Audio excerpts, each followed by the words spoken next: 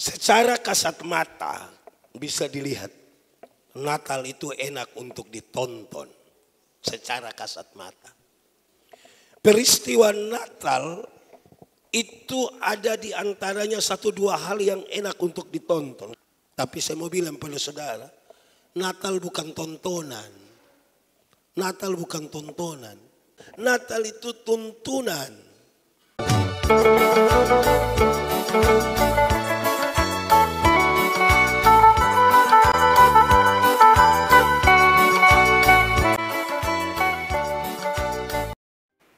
Mari kita berdoa untuk pemberitaan firman Tuhan. Mari berdoa. Ya Tuhan Allah kami mohon kepadamu. Kuatkanlah dan teguhkanlah iman kami. Supaya waktu kami belajar firman Tuhan. Biarlah ini menjadi waktu yang paling baik bagi kami. Kami berdoa. Tuhan jauhkan semua penggoda pencobaan. Biar di dalam namamu kami belajar firman Tuhan.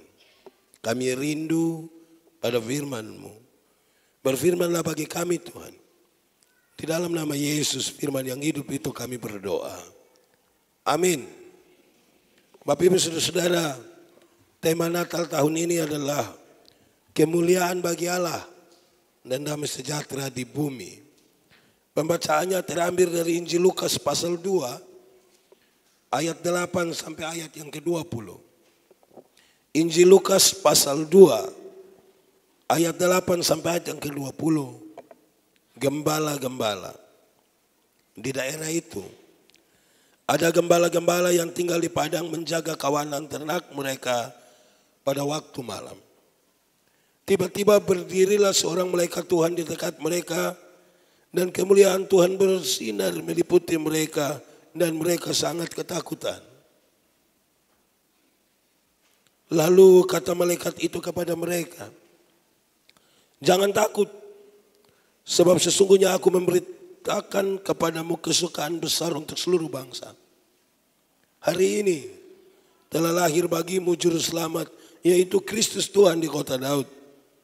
Dan inilah tandanya bagimu, kamu akan menjumpai seorang bayi dibungkus dengan lampin." Dan terbaring di dalam palungan.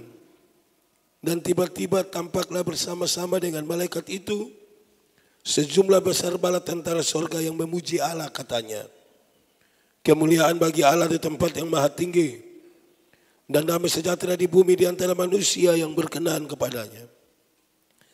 Setelah malaikat-malaikat itu meninggalkan mereka dan kembali ke sorga, gembala-gembala itu berkata seorang kepada yang lain, Marilah kita pergi ke Bethlehem untuk melihat apa yang terjadi di sana seperti yang diberitahukan Tuhan kepada kita.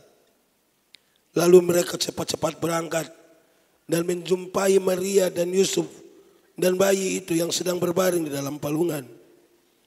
Dan ketika mereka melihatnya, mereka memberitahukan apa yang telah dikatakan kepada mereka tentang anak itu.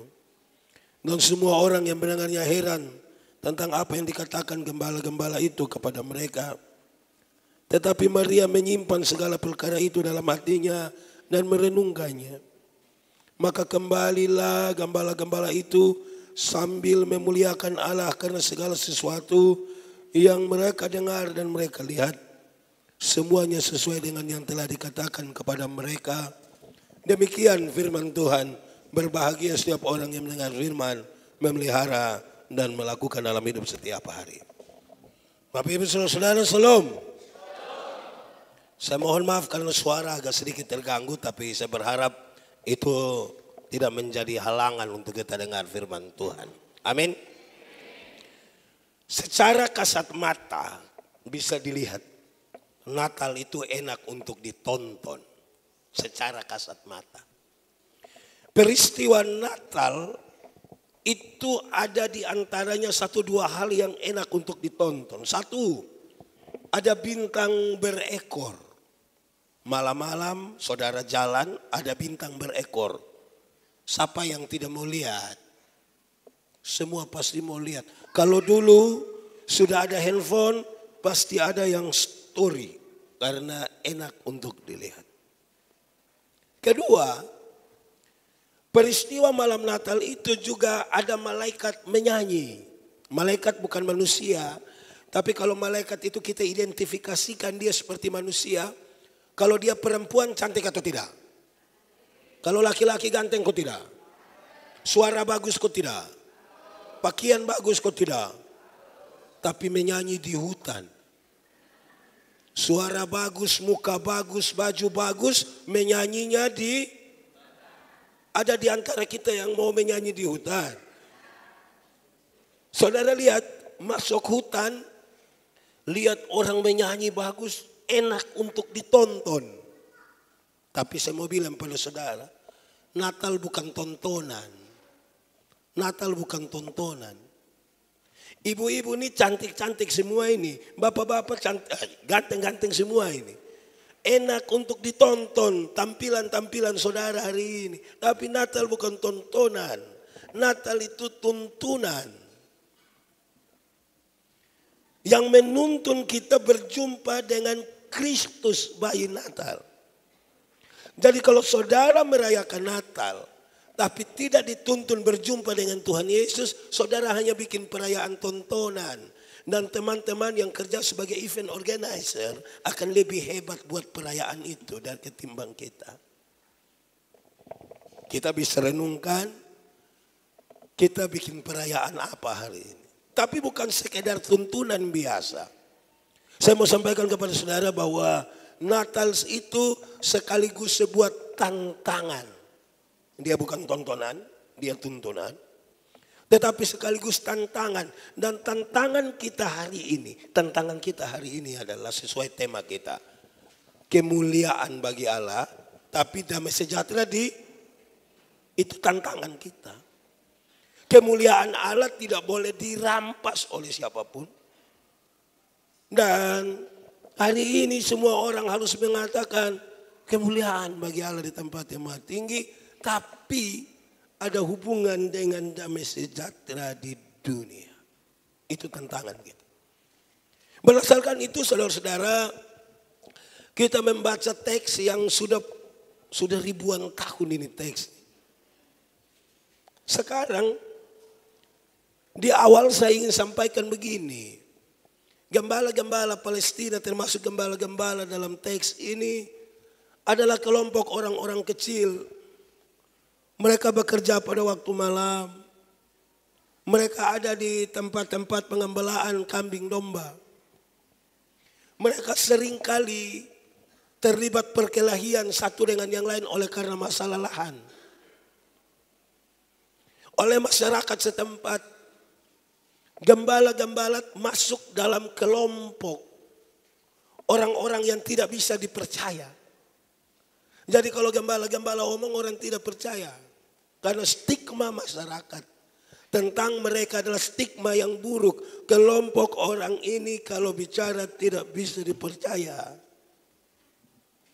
Berita Natal itu kemudian disampaikan pada orang yang sudah diberi stigma tidak bisa dipercaya. Saudara, mengidentifikasikan diri sebagai orang yang bisa dipercaya itu susah. Contoh, saya suka bilang begini. Kalau orang tolong kita dan kita bilang terima kasih itu baik kan? Tapi berapa banyak suami yang istri siap makanan terus suami bilang, Mama terima kasih. Setelah dengar khotbah ini, suami-suami yang tadi tidak tahu terima kasih, mereka dengar bilang betul, ini khotbah betul. Pulang Malam sebentar ibu siap makanan terus suami bilang, ibu terima kasih. Saya mau tanya, ibu-ibu langsung percaya. Ibu-ibu langsung yakin. Saudara lihat, istri sendiri saja tidak yakin.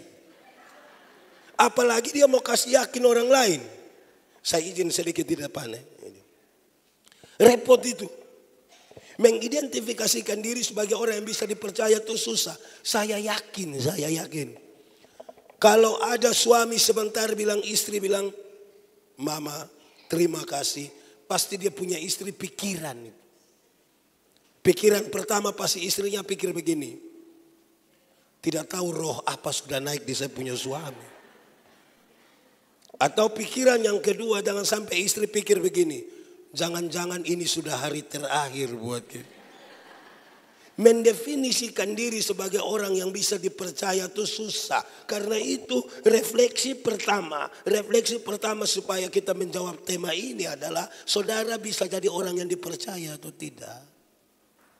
Kalau malam hari ini, sore ini saya tanya, Saudara percaya Tuhan Yesus, semua akan bilang saya percaya pendeta. Benar-benar saudara percaya, saya sangat percaya. Pertanyaan kedua, apakah Tuhan percaya saudara?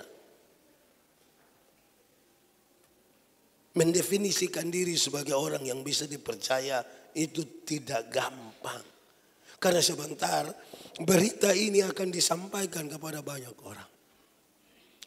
Berita di mana saudara tahu Orang-orang Yahudi sekalipun sementara berpikir bahwa Mesias itu akan datang seperti seorang pahlawan. Datang dalam kemuliaan dan kejayaan. Sekarang orang yang tidak bisa dipercaya akan datang bicara tentang Mesias yang lahir di kandang domba. Tantangan itu tantangan yang tidak gampang. Kisahnya kisah yang berat saudara. Maria Maria waktu itu bertunangan dengan Yusuf. Keluarga sudah tahu tapi belum boleh tinggal sama-sama kan. Yusuf pulang ke kampungnya siap segala sesuatu kurang lebih satu tahun baru dia boleh kembali dan ambil Maria. Dalam masa penantian itu mempelai perempuan tidak boleh melakukan sedikit pun kesalahan. Dalam kondisi yang berat itu tiba-tiba Maria hamil. Menurut saudara itu sesuatu yang gampang. Waktu Maria bilang, papa saya hamil. Itu saudara yakin. Kalau Yusuf tidak terima, maka dia akan disebut berzina. Dan kalau dia berzina, saudara, hukumnya jelas. Pasti dilempar sampai mati kan. Saudara, singkat cerita Yusuf terima. Yusuf sudah terima. Keluarlah pasangan muda ini dari Nazaret pergi ke Bethlehem. Perjalanan Nazaret ke Bethlehem itu kira-kira 100 km. 100 km bagi seorang perempuan yang hamil besar menurut saudara itu sesuatu yang gampang. Perjalanannya bukan perjalanan yang pelan, perjalanan harus perjalanan yang lebih cepat. Kenapa? Kalau mereka mendaftarkan diri nanti di Bethlehem sebelum Yesus dilahirkan, maka hanya dua orang yang didaftarkan, Yusuf dan Maria. Tapi kalau Tuhan Yesus sudah dilahirkan, pendaftarannya menjadi tiga orang. Bukan soal tiga orang, soalnya ada penambahan pajak. Cukup di situ? Tidak. Yusuf tukang kayu. Dia akan pergi ke Bethlehem. Bahkan dalam kisah lanjutan, melarikan, melarikan diri kira-kira empat tahun di Mesir. Sebagai tukang kayu ini saudara, dia punya mobiler bengkel kayu kecil yang ada di Nazaret ditutup. Bengkel kayu yang ditutup itu akan ada pemasukan atau tidak? Tidak ada sama sekali. Ini beratnya sebuah kisah untuk kemudian kita ingin mengatakan kemuliaan. Damai sejahtera di bumi. Mari kita lihat satu-satu. Dalam kondisi setelah Tuhan Yesus lahir ini. Malaikat-malaikat tampak bagi ini gembala-gembala. Gembala-gembala sangat ketakutan. Dalam ketakutan itu apa kata pertama, kalimat pertama yang diucapkan oleh para malaikat. Dia kasih tahu, jangan takut, jangan takut, jangan takut. Kalau saudara baca perjanjian lama, Celakalah, celakalah, celakalah, celakalah, celakalah, celakalah. Waktu saudara bercerita baca perjanjian baru, kisah mulai malaikat berjumpa dengan Maria.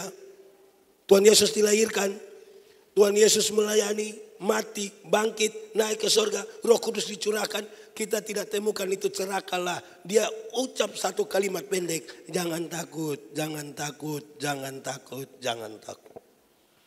Demi nama Tuhan Yesus saya bilang pada saudara. Jangan takut itu adalah berita Injil. Injil itu pembebasan. Supaya mereka yang takut itu kemudian menjadi siap untuk berurusan dengan hidup ini. Apa pentingnya? Dalam kaitan dengan tema kita. Tema kita kan kemuliaan. Kalau kemuliaan bagi Allah, Allah mendekati manusia bagi semua orang yang punya masalah dia bilang jangan takut, jangan takut. Saya mau tanya, saudara punya masalah kok? Tidak usah omong, saya lihat yang ini muka masalah semua. Masalah ialah kesenjangan antara harapan dan kenyataan. Harapan begini, kenyataan begini. Itu masalah. Berita ini penting, jangan takut. Pendeta Yandi ingin mengatakan pada banyak orang, masih banyak gereja suka kasih takut kasih takut jemaat. Menjelang pasca ada kelompok-kelompok dari gereja-gereja tertentu putar-putar film-film neraka di kampung-kampung itu. Habis orang nonton ini, cek, sebaik. Ay, mantap, mantap. Habis orang nonton itu film neraka, mereka bilang pendeta, oh neraka ngiri. Saya bilang, saya tidak pusing dengan neraka. Kenapa? Karena saya masuk sorga. Minimal pendeta mesti tahu. Saya tidak tahu juga tidak apa-apa. Kenapa? Karena kalau saya masuk sorga bukan karena ketakutan hukuman di neraka. Saya masuk sorga karena Tuhan Yesus mati ganti saya. Itu Injil. Pembebasan. Bukan menakut-nakuti. Saya berdoa kasih banyak orang tua nenek-nenek di rumah sakit. Saya bilang nenek kita berdoa. Tapi saya doa habis mungkin nenek sudah mati. Terus nenek bilang kenapa begitu? Saya jelaskan sedikit. Terus dia bilang begini pendeta mati sekarang atau mati besok sama saja. Tuhan yang memberi, Tuhan yang mengambil. Terpujilah nama Tuhan. Bahkan di lembah kekelaman pun dia tidak takut. Bayangkan kalau itu nenek ada tidur situ, saya datang saya bilang nenek, ah, aduh nenek, aduh. Dua menit kemudian itu nenek mati. Ada anak muda datang bilang kepada saya, pendeta Yandi, saya rasa saya manusia paling berdosa di dunia. Saya bilang anak muda jangan takut. Pendeta juga orang berdosa. Tapi kasih Tuhan lebih besar kita dua punya kesalahan. Dia lebih siap. Bayangkan kalau dia datang dia bilang kepada saya, pendeta Yandi, saya rasa saya manusia paling berdosa di dunia. Terus saya bilang, iya, saya lihat engkau punya muka ini muka berdosa ini, saya lihat ini. Engkau kalau tidak bertobat kaki tangan patah buang semua-semua. Itu berita apa? Itu bukan berita pembebasan. Itu bukan Injil. Itu pertama. Kedua, kemuliaan bagi Allah. Kemuliaan bagi Allah. Yang perlu dimuliakan itu Tuhan Allah. Tapi damai sejahtera di bumi. Saya mau tanya saudara, surga lebih baik atau dunia lebih baik? Menurut saudara surga lebih baik atau dunia lebih baik? Yakin surga lebih baik? Berarti surga lebih baik dari dunia. Amin. Pertanyaan terakhir. Siapa mau pergi ke surga sekarang? Adakah di antara saudara-saudara rindu ke surga sekarang? Kenapa saudara semakin ragu-ragu untuk pergi ke tempat yang baik itu? Saudara, banyak orang bilang begini, pendeta, belum waktu Tuhan. Ya betul, belum waktu Tuhan. Tapi saya mau kasih tahu, saya belum pergi ke surga yang lebih baik dari dunia ini. Tapi tanda-tanda kerajaan sorga harus sudah saya alami di sini. Di tempat di mana saya tinggal. Di tempat di mana saya berjemaat. Di tempat di mana saya bekerja. Tanda-tanda itu dialami di sini. Saudara tidak usah urus surga. Surga sudah mulia, surga kudus, ada Tuhan di sana, semua aman. Yang repot itu kita punya rumah tangga, ah, itu yang urus. Yang repot itu kita punya persekutuan itu yang urus. Banyak orang tidak urus dia punya rumah tangga, dia sibuk dengan orang lain punya rumah tangga. Nah, itu yang repot. Urus saja yang kita punya. Damai sejahtera ialah, damai sejahtera ialah segala sesuatu yang mendatangkan kebaikan bagi umat manusia. Segala sesuatu yang mendatangkan kebaikan bagi umat manusia. Dan dalam segala sesuatu yang mendatangkan kebaikan bagi umat manusia, Allah mengutus putranya Kristus Yesus datang menjadi bagian di tengah-tengah manusia supaya damai sejahtera terjadi di bumi. Kan Tuhan ajar kita berdoa, jadilah kehendakmu di bumi seperti di surga sudah aman, tapi damai sejahtera surgawi harus terjadi di sini. Dalam kaitan dengan itu ketiga dulu, ketiga, saudara, kemuliaan bagi Allah di tempat yang maha tinggi damai sejahtera di bumi. Apa maksudnya? Ini berita dari surga bagi dunia. Ini berita dari langit bagi dunia. Dari atas, dari atas bagi dunia. Berita tentang pembebasan, berita tentang kebaikan. Kalau saudara berusaha dari dunia, semua sudah mengalami kebuntuan-kebuntuan. Sekarang berita surgawi itu yang mau disampaikan bagi kita. Apa maksudnya? Saudara, kalau acaranya di luar tiba-tiba ada hujan, saya suka bilang begini, tidak usah takut. Hujan itu mengajarkan kepada gereja tiga hal. Satu, hujan itu mengajarkan kepada kita supaya duduk semakin rapat. Kalau tidak hujan kan anak masing-masing duduk di sudut-sudutnya. Waktu hujan semua akan makin rapat. Persoalan bergereja hari ini adalah gereja-gereja makin menjauh satu dengan yang lain. Denominasi-denominasi tumbuh dengan banyak dan saling menghakimi satu dengan yang lain. Dulu ayat Alkitab bilang dulu, dulu ada sampai sekarang tapi saya mau tekankan dulu bilang di mana ada dua tiga orang berkumpul demi namaku di situ ada. Sekarang kalau ada dua tiga orang berkumpul repot itu. Bahkan yang dua tiga orang itu pendeta sekalipun. Itu kadang-kadang setan turut serta di situ. Persoalan bergereja adalah membangun kekuatan bersama-sama. Kedua, hujan mengajarkan kepada kita supaya berteriak makin kuat, bersuara makin keras. Kenapa? Perubahan zaman terlalu kuat. Kita belum siap untuk satu perubahan perubahan berikutnya sudah datang. Kalau gereja tidak bersuara dengan keras, jangan heran. Gereja menjadi pilihan paling terakhir dari banyak sekali keputusan-keputusan penting. Tapi yang ketiga, ada teka-teki dulu di kampung bilang begini, ada teka-teki dulu bilang begini. Jatuh di bawah, cari di atas. Apakah itu? Jatuh di bawah, cari di atas. Apakah itu? Hujan dan seng bocor. Kan kalau dia menetes di bawah kan kita cari begini. Tidak mungkin dia jatuh di bawah terus kita cari. Tidak tahu menetes di tidak. Jatuhnya di bawah, carinya di mana? Apa maksudnya? Semua hal yang terjadi di kolong langit ini, saudara mesti cari dia pun jawaban dari sorga. Kelahiran Tuhan Yesus itu kalau saudara cari jawabannya di bumi, tambah masalah. Tambah masalah. Bagaimana seorang perawan bisa bisa hamil? Bagaimana Allah punya anak laki-laki? Kalau saudara cari jawabannya di dunia, saudara tambah pusing. Jawabannya harus dari mana? Ini berita dari surga. Sehingga peristiwa ini harus menjadi sebuah peristiwa iman. Itu tiga dulu. Keempat, nanti habis baru dia punya implikasi. Saudara, berita ini berlanjut. Setelah dia dengar, hei, hari ini, hari ini lahir. Apa perdebatan kita selama ini? Perdebatan kita selama ini adalah orang suka berdebat begini. 25 Desember kan tidak pernah tulis dalam Alkitab. Kenapa orang Kristen sibuk-sibuk merayakan Natal? So tidak tulislah kamu rayakan lagi. Saya bilang begini.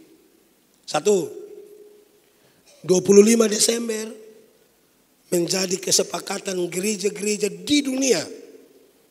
Berdasarkan pertimbangan 1, 2, 3, ada satu hari bersama-sama. Semua orang yang mengaku percaya kepada Tuhan merayakan Natal bersama-sama. Satu hari. Tapi yang kedua lebih penting. Dalam kaitan dengan teks ini. Saya mau kasih tahu kita bahwa 25 Desember tidak perlu ditulis. Karena yang paling penting adalah pendeta yang dia harus jawab. Kapan Yesus itu lahir di dalam hati saya? Kapan? Kapan Yesus lahir dalam hidup saya? Kapan Yesus lahir? Kapan Yesus lahir? Kapan Yesus lahir? Kapan Yesus lahir? Kenapa? Karena kita merayakan Natal tapi belum tentu kita membiarkan Yesus lahir dalam hidup kita kan? Maka berita dari sorga ini kasih tahu hari ini, hari ini juru selamat itu ada. Pertanyaan reflektifnya adalah apakah saudara mau buka dirimu hari ini atau tidak? Keempat. Kelima.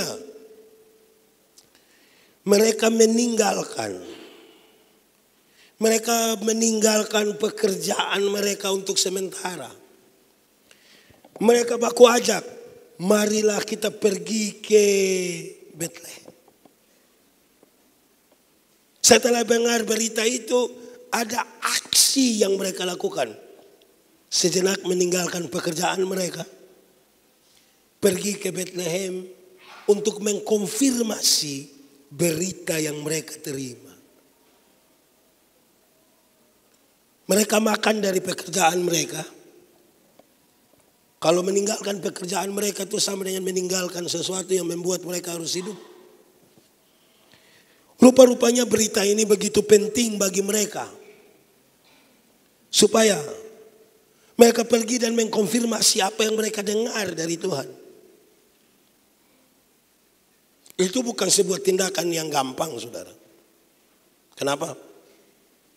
Karena apa yang menjadi pekerjaan kita sering kali menjadi alasan untuk kita menolak pelayanan malah.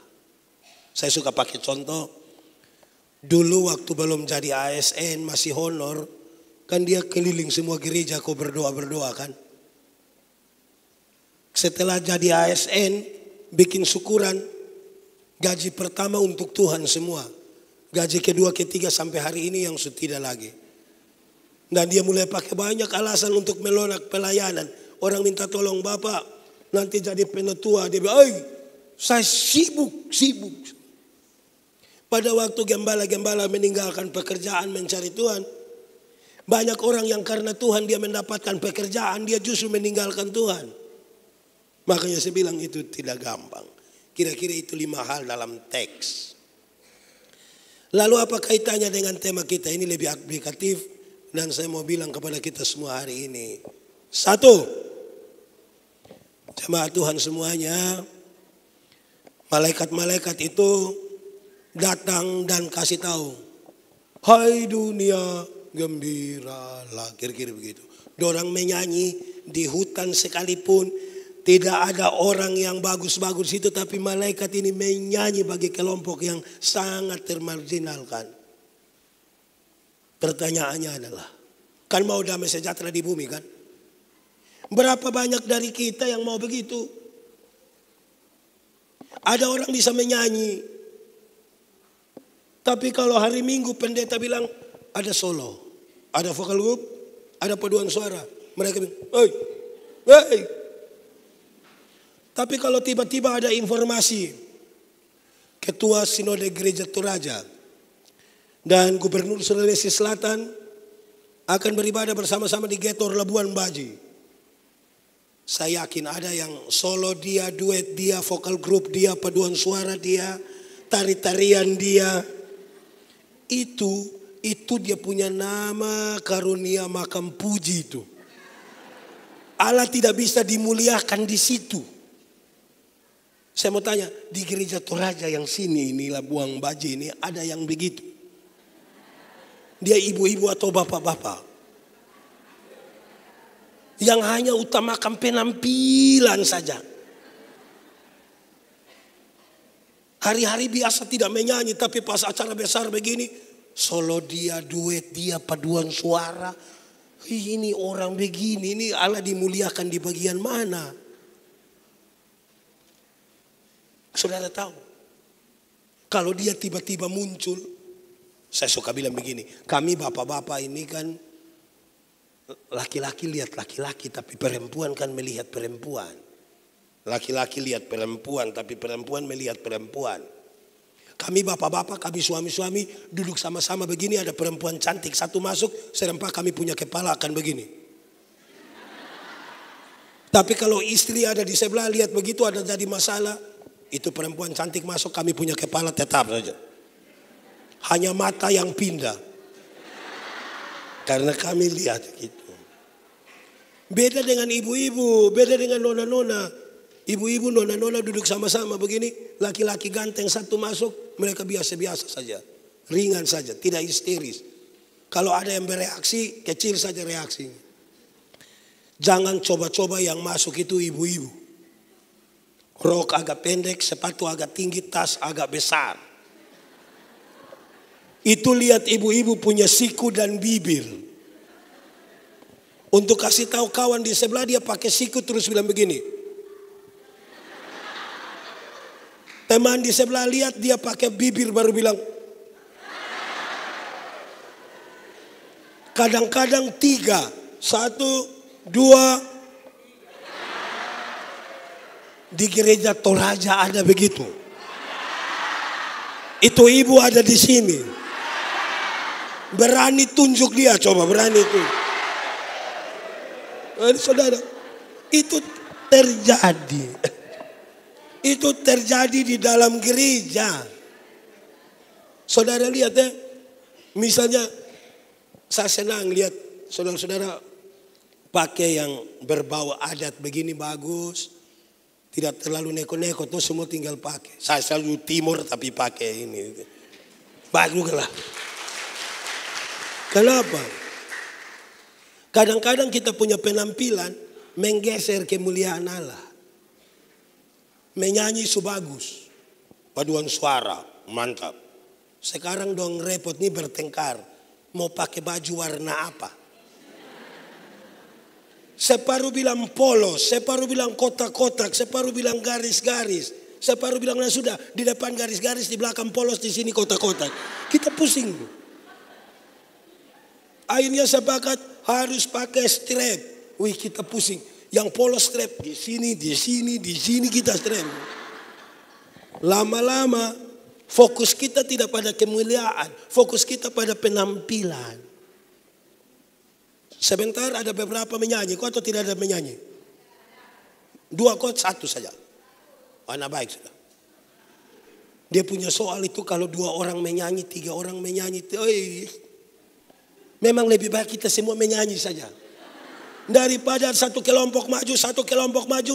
Yang maju pertama aman. Mulai yang kedua maju, baru yang pertama bilang, eh suara macam piring pica itu. Di gereja. Dan itu terjadi. Itu kita punya soal. Bagaimana kemuliaan Allah terjadi. Damai sejahtera di dunia. Kedua, saudara lihat kita bergereja. Saya senang karena kita bisa duduk dekat-dekat begini. Gereja kalau makin kecil makin bagus lah. Bisa duduk dekat-dekat begini. Kenapa? Saudara tidak mungkin duduk dekat dengan orang yang saudara tidak suka. Tidak mungkin. Hanya orang yang saudara dekat saja, hati tidak marah dia tuh yang bisa saudara dengan dia duduk agak dekat. Ada orang yang saudara tidak suka. Mau duduk di dia sebelah. Saudara bermasalah, tidak akan ada damai sejahtera duduk dekat orang yang kita tidak suka. Saya senang ini, tadi datang semua duduk begini bagus. Yang paling repot dalam gereja itu kalau kita melayani, ada yang sibuk sendiri itu, itu pusing. Satu, dia suka datang terlambat, tapi dia yang baca Alkitab. Sampai-sampai baca, aduh saya yang baca kok, aduh. Papa, papa, papa pada mulanya tuh, aduh. Orang langsung tidak suka dengar lagi. Dua, ada orang yang ini kalau di kota macam Makassar ini kota besar jadi tidak ada lagi. Kami di kampung itu hari pasar itu satu minggu satu kali. Karena satu minggu satu kali kesempatan dia beli baju hijau, rok merah, sendal kuning. Itu mau pakai ke mana? Ini baju merah, rok hijau, sendal. Satu-satunya tempat untuk bisa berjumpa dan dapat pengakuan banyak orang adalah gereja. Nanti semua sudah duduk, semua sudah ada baru dia datang paling terakhir. Demi baju merah, rok hijau, sendal. Duduk-duduk sedikit tiba-tiba dia keluar. Belum lagi saudara-saudara, kita punya kebiasaan satu saya suka bilang di mana-mana. Doa itu bicara dengan Tuhan, menghadap Tuhan itu menghadap baik-baik. Tapi saudara dengar kita punya perilaku tentang doa. Di mana kita minta supaya Allah dimulia, dimuliakanlah engkau Bapa di surga. Itu kata-kata doa. Coba ikut ibadah hari Minggu. Pak Pendeta pimpin terus pendeta bilang, saudara-saudara Mari kita satu hati dalam doa syafaat, dalam doa syukur. Pas kita mau berdoa begini, separuh langsung. Di gereja Toraja ada begitu juga. Dia majelis atau jemaat. Ini tindakan-tindakan saudara merindukan. Kita ikut ibadah di ibadah syukur. Ibu-ibu bikin ibadah syukur di rumah kita pergi khotbah, khotbah, khotbah, khotbah. Terus pendeta bilang, saudara-saudara, mari kita menyatakan syukur bersama-sama dengan keluarga dalam doa syukur, dalam doa syafaat ini. Pas kita mau berdoa, ibu-ibu semua langsung ke belakang, langsung ke dapur. Pakai baku panggil lagi bilang, Gembala-gembala baku ajak ke Bethlehem. Ini seksi konsumsi baku ajak ke dapur. Sampai di belakang yang ketua dapur itu kasih tahu bilang, siap, sudah. Sudah syafaat itu. Ini kuah tadi sudah kasih panas kah? Padahal hanya kacang bon ini. Tambah dengan papium sedikit ini. Orang doa dia sibuk dengan itu bar. Belum lagi acara-acara kita kalau sebentar ada makan ku tidak. Oh baik sudah kalau tidak ada lebih baik. Separuh kita sibuk ibadah, dia sibuk dengan bungkus nasi. Kita pusing dengan kemuliaan apa nanti. Untung di sini tidak ada yang biasa bungkus-bungkus makanan. Oh, saudara yang bilang saya, Jadi kesibukan kita di mana sebenarnya dengan bungkus-bungkus Hei ibu, Kenapa banyak sekali? Kami tiga orang tapi makan dua belas. Repot kita punya urusan. Eh, aneh ini. Saya, saya, saya bilang tadi. Gembala-gembala baku ajak ke Bethlehem. Kita baku ajak bungkus nasi ini saudara. Ke, kemuliaan apa yang bisa kita dapat? Keempat. Dalam hal inilah Bapakku dipermuliakan yaitu jika kamu berbuah kata firman. Sebab dari buah, dari buah orang mengenal pohonnya. Dari buah orang mengenal pohonnya. Kalau Anda dikenal dunia sebagai milik Kristus, maka Tuhan Yesus harus kelihatan di dalam hidupmu, kan begitu? Berarti apa yang Tuhan Yesus buat itu pun yang harus kita buat. Saya suka pakai contoh ini. Satu, satu saat Tuhan Yesus urus seorang perempuan bersina yang kena tangkap. Supaya nanti kalau di sini ada yang bersina, kan kita supaya demi kemuliaan raja, kita pakai cara-cara Tuhan Yesus toh. Waktu lihat perempuan bersina ini kena tangkap, dorang bawa datang kepada Tuhan Yesus. Menurut hukum setempat, ini perempuan kan harus dilempar sampai mati. Tuhan Yesus bilang begini, kalau di antara kamu ada yang rasa diri tidak berdosa, silakan angkat batu dan lempar duluan. Ada yang lempar? Tuhan Yesus tanya, mereka di mana? Mereka sudah pulang semua. Tuhan Yesus bilang begini, ah engkau pergilah dan jangan berbuat dosa lagi.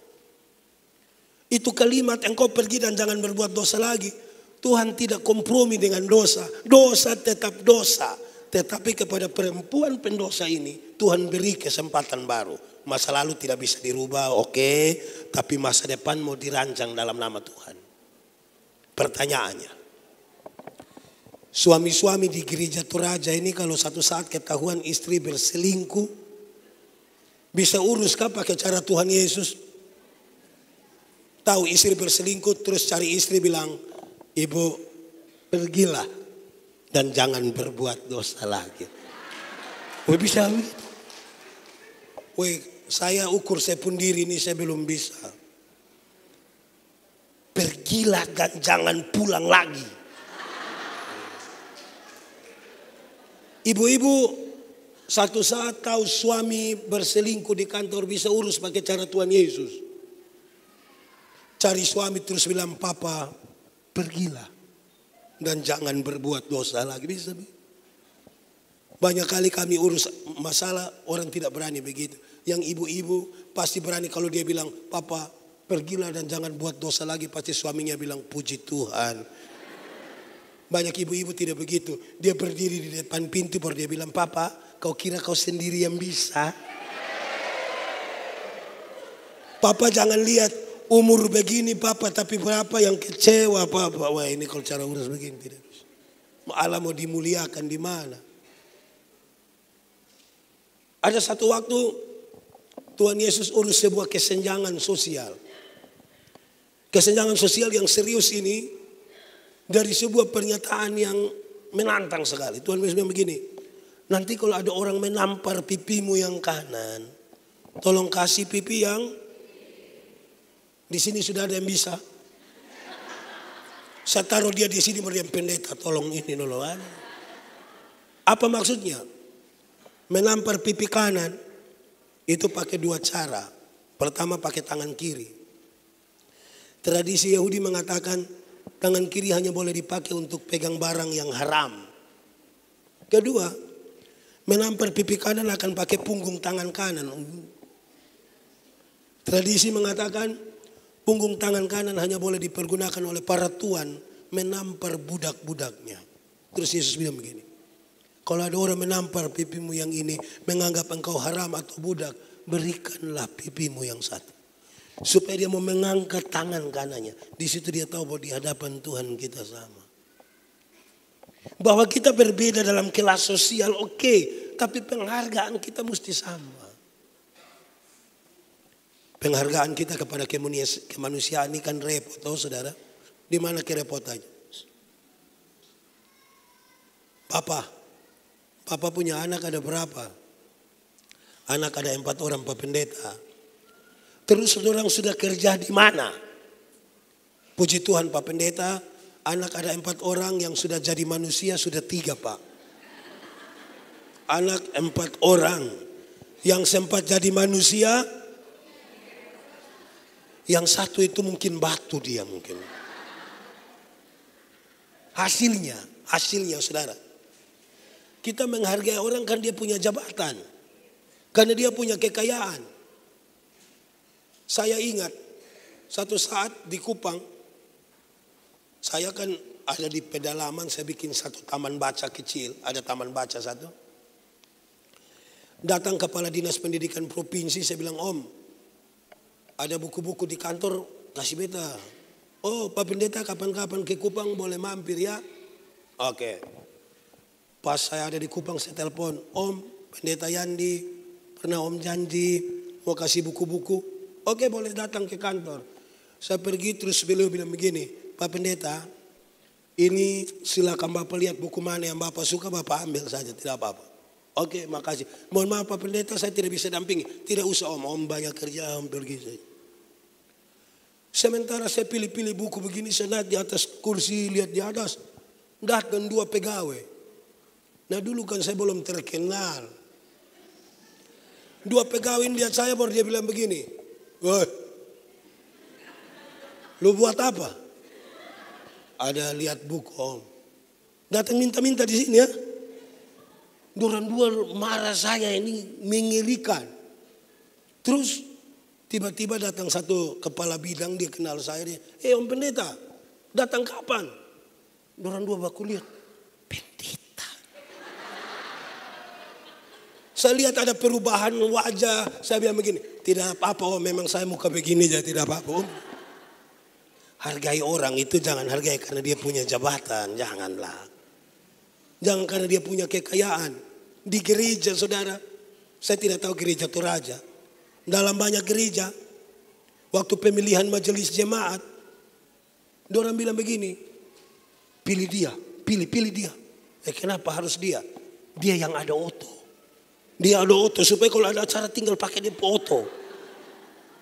Lebih baik kita pilih oto daripada pilih dia. Di gereja Toraja ada juga begitu.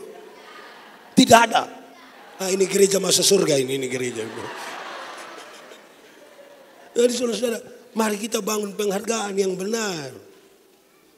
Ketiga, satu saat Tuhan Yesus urus sebuah dilema pajak. Dilema pajak. Dari pertanyaan yang gampang. Tapi resiko jawaban yang susah. Itu pertanyaan bilang begini. Boleh bayar pajak kepada kaisar atau tidak? Kalau Tuhan Yesus bilang boleh, maka ribuan orang pengikut Yesus akan meninggalkan Yesus karena pajak terlalu mahal. Tapi kalau Tuhan Yesus bilang tidak boleh, maka dia dianggap memprovokasi masyarakat untuk lawan pemerintah. Dia pasti akan ditangkap. Tuhan Yesus bilang begini. Tunjukkanlah kepadaku koin untuk pembayaran pajak itu. Tuhan tanya, gambar dan tulisan siapa ini? Kaisar. Kasih kaisar apa yang wajib kamu berikan pada kaisar. Tapi berikanlah pada Tuhan apa yang wajib kamu berikan pada Tuhan. Itu bukan soal perpuluhan.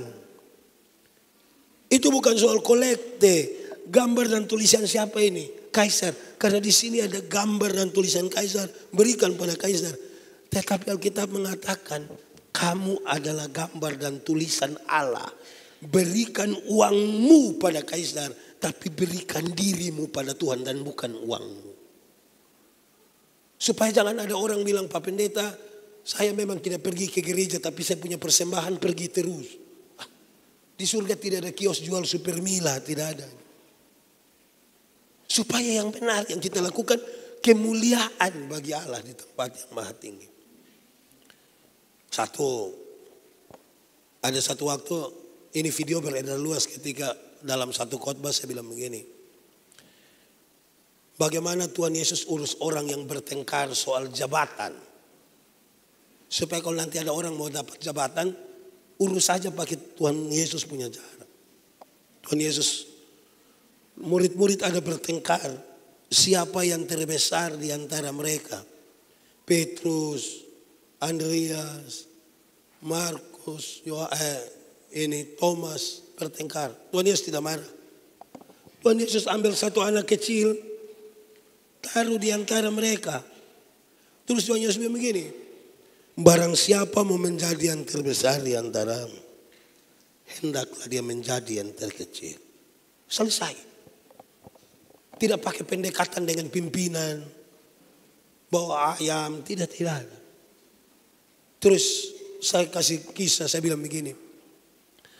Tahun 2009 saya ketua Panwaslu. Saya bikin begini ketua Panwaslu, saya juga heran itu. Datang satu dua caleg bilang saya bilang pendeta. Menurut pendeta saya bisa jadi anggota dewan, kok tidak. Saya bilang yang macam bapak begini tidak bisa. Lihat bapak tidak bisa. Eh Pendeta kau yakin sekali saya tidak bisa? Iya, Bapak ini saya minta jadi majelis jemaat yang hanya urus 20 kakak saja Bapak tidak mau. Masa mau urus kami semua? Saya yakin tidak jadi. Habis pemilu ternyata dia tidak terpilih. Dia datang cari saya. Dia pendeta. Yo, ternyata Bapak pendeta mulut panas betul. Saya bilang ini bukan soal mulut panas. Anda yang tidak terbiasa setia pada perkara-perkara yang kecil. Alkitab bilang, kalau engkau setia pada perkara-perkara kecil, kepadamu Tuhan anugerahkan perkara yang besar. Anugerahkan itu berarti duduk diam-diam dia kasih. Bukan mau pemilu baru datang ke saya bilang, Pak, kita dua saudara, Pak. Ini saudara apa kita muka beda begini, tidak bisa.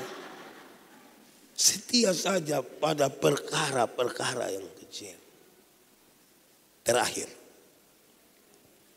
Ini untuk anak-anak sekolah. Kenapa buah kelapa jatuh ke bawah bukan ke atas? Buah kelapa jatuh ke bawah bukan ke atas. Kenapa? Gaya? Itu kalau ujian baru jawab begitu benar. Tapi di Natal dia lebih dari sekedar itu.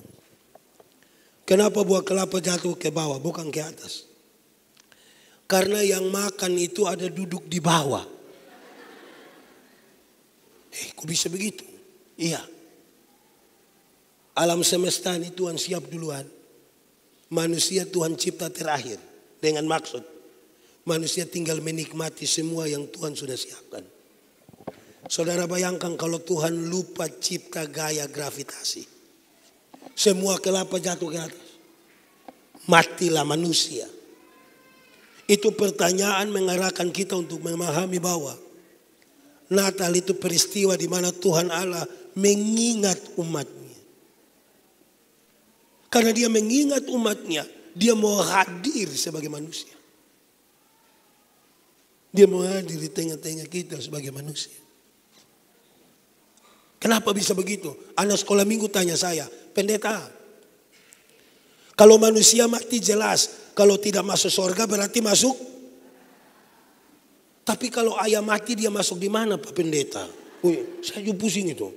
Tapi kalau pertanyaan itu ditujukan kepada kita, ayah mati masuk di masuk di masuk di apa pun jawaban kita, jawaban itu memberi pesan bahwa manusia beda dengan ayam.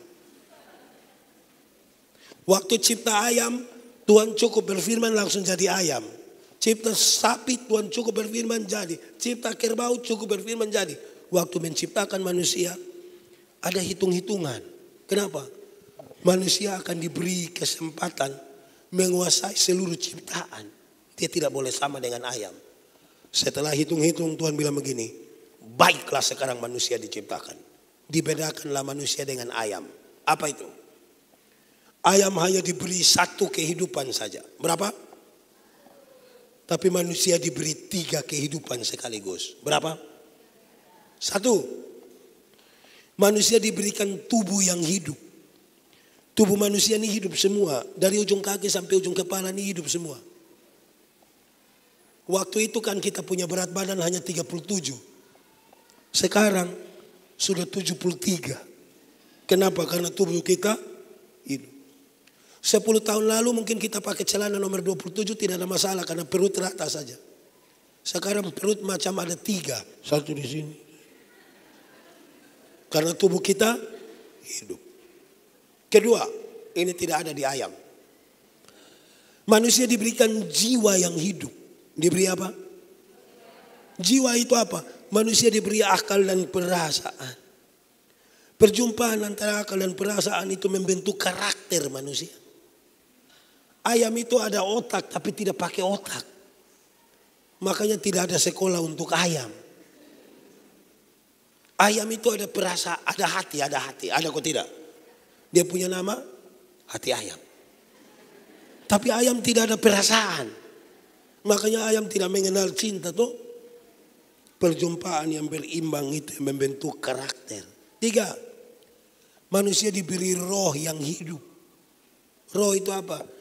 Roh menghubungkan manusia dengan Tuhan Allah penciptanya. Roh itu membuat manusia gelisah kalau dia tidak berdoa. Roh itu mendorong manusia mencari Tuhan. Saudara lihat, punya tubuh, jiwa, roh.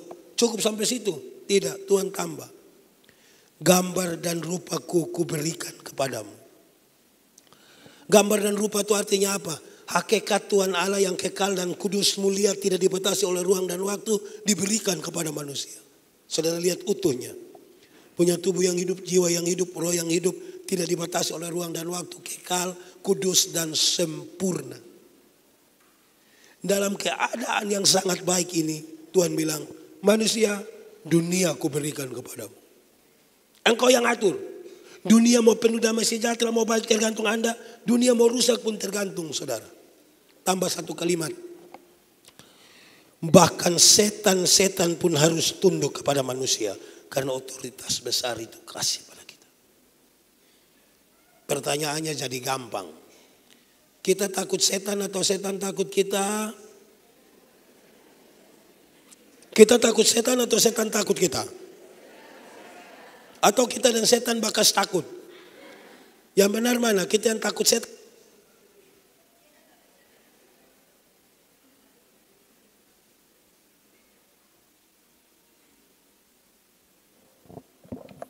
Cek, ah, ini terakhir. Kerinduan kita setan takut kita. Kenyataan membuktikan kita takut setan. Kenapa? Karena terjadi kerusakan otoritas yang tadi. Tubuh, jiwa, roh, gambar rupa Allah itu. Apa yang membuat rusak? D-O-S-A. Kehilanganlah kemuliaan. Dalam kondisi kerusakan karena dosa, ayam tidak bisa menebus manusia karena ayam hanya punya satu kehidupan.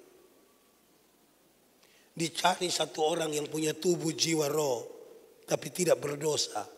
Tidak ada manusia yang seperti itu. Allah menjadi manusia di dalam Yesus Kristus. Punya tubuh, punya jiwa, punya roh. Tapi karena dia tidak berdosa, seluruh kejahatan dosa kita ditimpakan kepadanya. Kemuliaan surgawi itu atas kita dan dunia mestinya penuh dengan kemuliaan itu. Tuhan memberkati kita. Amin.